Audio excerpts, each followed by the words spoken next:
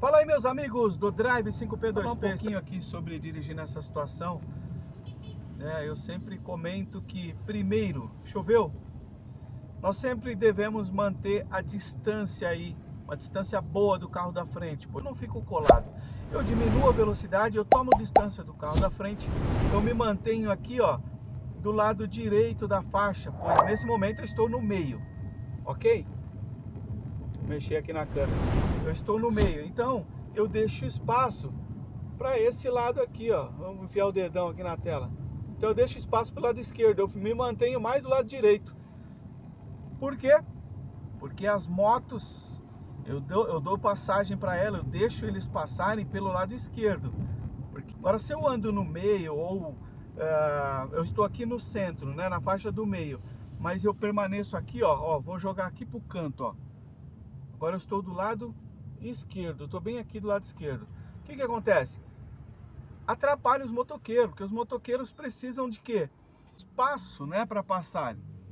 Outro detalhe, fica sempre atento a esse som. Pepe, pepe, pepe, buzinou, moto, você já olha no retrovisor. Na verdade, ele está ele tá te alertando, né? Porque se você fechar ele, é, fizer algum movimentinho aí de, de brusco para mudança de faixa ou desviar de algum buraco, você vai jogar o motoqueiro no chão.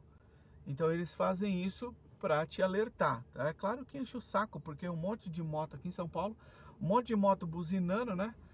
Mas é a forma deles é, se manterem mais tranquilos, né? Mantenha do lado direito, né? Se caso você estiver aqui na faixa do meio. Agora, se você estiver na esquerda, eu vou mudar de faixa aqui. Eu vou para a esquerda. E aí vai mudar as coisas. O que, que nós vamos fazer agora? Eu vou me manter do lado esquerdo, porque eu vou dar espaço para eles do lado direito. Tá vendo aqui, ó, o carrinho branco? Tá tendo bastante é, espaço para a moto passar caso venha, né? Então eu me mantenho aqui na esquerda. Você pode vir verificando isso. Aqui ó, a moto passando tranquilo. Ó. Ele nem buzinou. Por quê?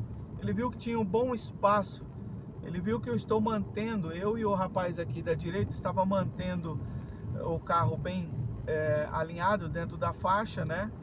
Então ele já entende que não vai ter problema. Ó, o outro também passou sem buzinar, tá vendo?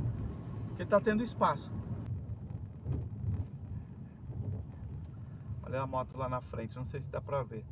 Ó como tá tudo apertado, ó. Eles tentando passar, ó. Vou dar um zoom depois. Vou até jogar o carro aqui para a esquerda, que eu joguei para a direita para mostrar para vocês.